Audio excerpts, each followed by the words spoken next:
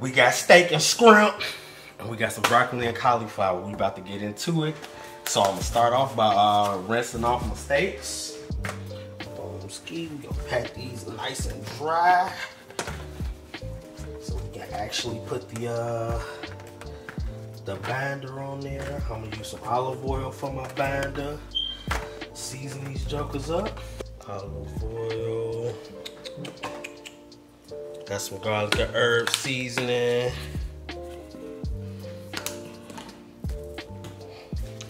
Got some Italian seasoning. Got some honey garlic. And got some slap your mama. Get that nice and in there. These also get some crushed reds I want a little spice on them. Ooh, I just used too much. They finna be hot as hell now, but that's okay. I like a little spice. Garlic and herb again. It's funny, I used to watch so many cooking shows growing up with my mom. Um, Emeril Lagasse was our favorite one. Nice and all up in there.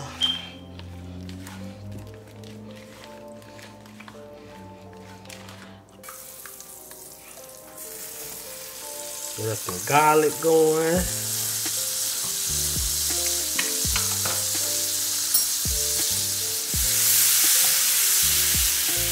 Oh, you get a few minutes on each side. Shrimp don't take that long. Get those going.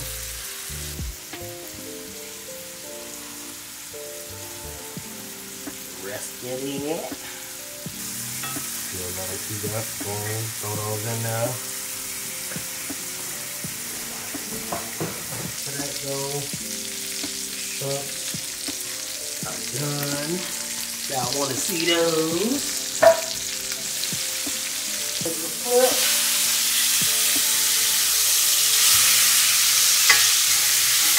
Tar on them, decent tar. I could have did better. A little bit more garlic for these vegetables. Be random when I don't even mean to. It's just a part of me now. To me.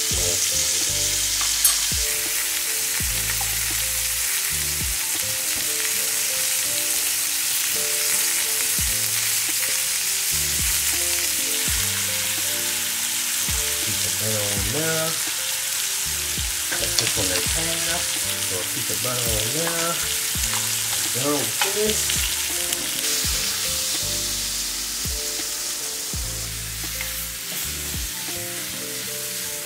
Okay.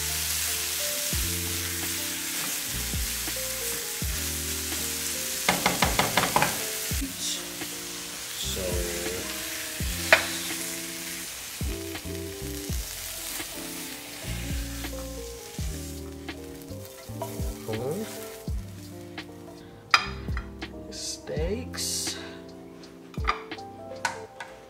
Got your steak that I might have overcooked.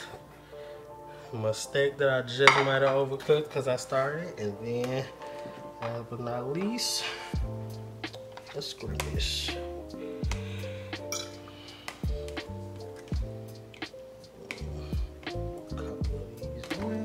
Distribute them evenly.